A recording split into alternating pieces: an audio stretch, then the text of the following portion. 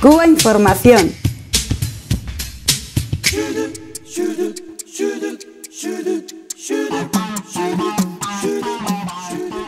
Desde luego, a quien siga la actualidad de política internacional y la política exterior de Estados Unidos de este último año y medio, dos años, mm, eh, y la compara un poco con la, con la situación y la política o la estrategia eh, internacional de cualquier otra administración de Estados Unidos anterior, eh, solo puede llegar a la conclusión de que Donald Trump ha roto todos los récords de eh, ultra reacción, de expansionismo eh, sin alma, de imperialismo en estado puro, con una, con una serie de asesores en política exterior vinculados al lobby, mal llamado lobby judío, lobby sionista, eh, por supuesto los Marco Rubio y mafia cubano-americana apuntando a América Latina, etcétera, etcétera. Una guerra comercial contra China, sanciones, asesinato de, dirigentes militares, en este caso en Irán, sanciones increíbles a Irán, Corea, la República Popular Democrática de Corea, Cuba, Venezuela, tropas de ocupación de Irak que siguen sin salir a pesar de que el Parlamento de aquel país de manera soberana ha exigido que salgan del país definitivamente, pues dice que no. Y el famoso llamado acuerdo del siglo para Palestina, que habría que decir que es para Israel, para favorecer los intereses de Israel, acompañado de, un, de, una, de la aprobación de un presupuesto militar de 750.000 millones de dólares, que por supuesto han salido a recortar gastos sociales, ¿no? programas de vivienda con un 15% menos de presupuesto o ayuda a la cooperación al desarrollo que ha disminuido el 21%. Bueno, pues Vamos a repasar algunos de estos temas. Por ejemplo, eh, la situación una vez más dramática, triste del pueblo palestino.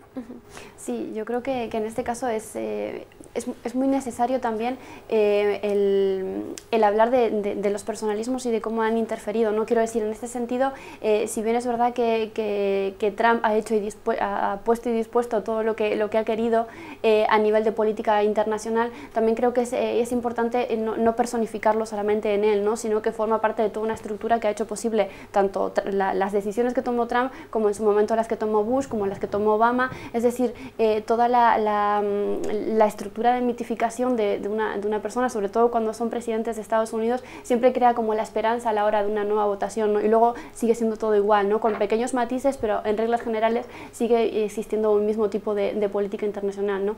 En este caso, claro, bueno, Trump ha hecho ya un poco exagerado todo la los aspectos, sobre todo en, determinados países, ¿no? El caso de, Venezuela y el caso de, Palestina eh, es extremadamente increíble cómo se ha dejado influir por el, por el lobby sionista de Estados Unidos, ¿no? Quizás también influenciado por su propio yerno que lo tiene cerca y, es parte del que está detrás de, toda esta, de esta maquinación dentro de lo que va a ser eh, ese, ese, supuesto acuerdo del siglo, ¿no? Que hay que mencionar que no ha tenido para nada en cuenta ninguna de las peticiones de Palestina, a pesar de que han sido peticiones respaldadas por las Naciones Unidas, como es el caso de, volver a las fronteras de 1967, que está respaldada, votada en las Naciones Unidas y que no se menciona para nada, al contrario, todos los, eh, eh, territorios ocupados por Cisjordania por parte de, Israel van a seguir estando ocupados, eh, se planifica que las fronteras, es decir, que Palestina no tenga fronteras con ningún otro Estado, es decir, va a ser un Estado dentro de, dentro de otro, si es que no un Estado, sino que no va a tener contacto con ningún otro Estado, ni poder realizar ningún tipo de relaciones comerciales, turismo, todo va a estar bajo control israelí, ¿no? algo que recuerda muchísimo lo que fue el apartheid en, en, África, ¿no? en Sudáfrica, es decir, eh, toda la política, que es verdad que la llevamos viendo hace mucho tiempo, eh, se ha guiado mucho por el apartheid eh, sudafricano ¿no? y lo están llevando a la práctica y a nadie parece importarle porque es una especie de conflicto estancado y que se ha normalizado y en las noticias de vez en cuando nos saltan algo cuando ocurre algo en Gaza o cuando se, se reprime ciertas manifestaciones, pero en términos generales se ha olvidado completamente, ¿no? Y de hecho, eh, el, gobierno vasco no aprobó ningún proyecto de, cooperación a, Palestina el año pasado, ¿no? Es decir, todos somos muy sensibles con la causa palestina, pero a la hora de la verdad eh, parece que se olvida, ¿no? Y todo ese tipo de, cuestiones sí que me parecen importantes de, destacar. Y en esa misma línea, yo creo que, Trump, así como en el caso de Cuba, ha estado tremendamente influenciado por Miami, y por la Florida, en este caso el lobby sionista, que es el que, el que le está dando, em, bueno, le está pidiendo las cuentas del apoyo que, pudo conseguir en las elecciones, ¿no? Lo cual es muy peligroso teniendo en cuenta de que tienen otras elecciones muy pronto. Es decir, qué otras cosas se van a prometer y qué otras cosas se van a poner en marcha. Estamos hablando del famoso acuerdo del siglo de Donald Trump, mm, aplaudido a cuatro manos por el gobierno de Israel, establece a Jerusalén como capital indivisible de, Israel. Eh, dice que facilita un, Estado, la creación por fin del Estado palestino y además dice es la última oportunidad que tiene el pueblo palestino y sus representantes. O aceptas este acuerdo o no, o no hay ninguna posibilidad. Y eh, ha sido rechazado por la Liga de Estados Árabes, pero salvo ahí estaban los embajadores de Omán, Emiratos, Emiratos Árabes Unidos y Bahrein, por supuesto, esos satélites del, vamos a decir, el mundo árabe musulmán, eh, siempre acólito de, de, Israel y siempre siguiendo su política. Frente a ello, es el caso de Irán, que directamente ha dicho que, bueno, pues que, no lo va, que no lo va a permitir y que esto es una verdadera farsa. Bueno, aquí estamos ante una enorme infamia, una más de tantas, desde los territorios ocupados en 1967, Estados Unidos e Israel han violado todas las resoluciones de Naciones Unidas de entonces, eh, que habla y exige de restituir las, las fronteras en esos territorios ocupados, arrebatados por el imperialismo sionista israelí eh, al pueblo palestino. El error viene desde la misma fundación de Naciones Unidas en 1948. O sea, se creó artificialmente el Estado de Israel y eh, se dejó para, para después el Estado palestino y estamos en el punto que estamos ahora. Esta administración es una administración eh, posiblemente la más eh, reaccionaria de cuantas eh, han pasado por la Casa Blanca en los últimos 40 o 50 años. Y es una administración que está, eh, hay una serie de personajes de, lo más... De, lo más reaccionario, lo más de ultraderecha y lo más viscerales que pueda, que pueda existir. Una, una pandilla de mafiosos y de, gente guerrerista, casi todos lo han tenido. No, es extraño porque, bueno, responden a los grandes poderes, eh, como el complejo militar industrial, o sea, las grandes corporaciones, etcétera. No al pueblo, ni el Estado profundo que llaman. Así, no, no, a los anhelos del pueblo. Y la primera infamia fue cuando, eh, por primera vez, que no se le ocurrió a nadie, ni a ninguno de los presidentes anteriores, este señor, Donald Trump, pues eh, trasladó la embajada de los Estados Unidos a Jerusalén y reconoce a Jerusalén como capital indivisible, como ha dicho, de Israel. O sea, hace una bofetada al derecho internacional, a las resoluciones, a todo y al pueblo palestino, que sigue luchando. Por cierto, el líder, eh, el líder palestino, Mahmoud Abbas, ha eh, roto todas las relaciones con Estados Unidos. Y desde luego es inaceptable. Ese, esa paz, que además con ultimátum, es inaceptable por el pueblo palestino y por todos los pueblos y gobiernos decentes que existen en el mundo. Porque eh, eh, justifica y, digamos que, que legaliza una, una, flagrante ilegalidad, eh, como los territorios ocupados de la Cisjordania.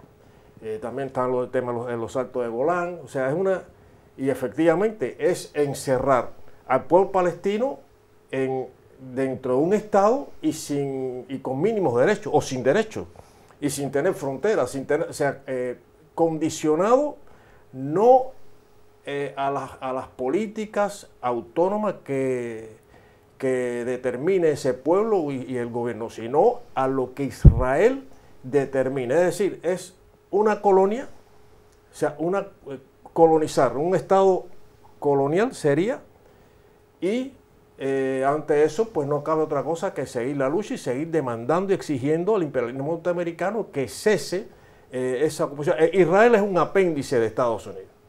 Hay que decir que Israel es un apéndice y que la política de, eh, de Estados Unidos en la región está determinada por eh, ese, ese, ese apéndice que es Israel, que es, eh, ahí se está jugando un espacio geoestratégico importante y le sirve también precisamente a los intereses geopolíticos estratégicos de Estados Unidos en la región, donde tiene un frente abierto con Irán, un frente abierto incluso con, con Siria, y eh, bueno, también está el Líbano, en fin.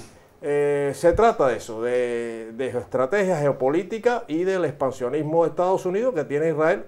Eh, además, hay otra cuestión que le pone, él dice, bueno, durante cuatro años, es decir, que se compromete a que no, el Estado de Israel, a que no siga el expansionismo en la Cisjordania durante cuatro años.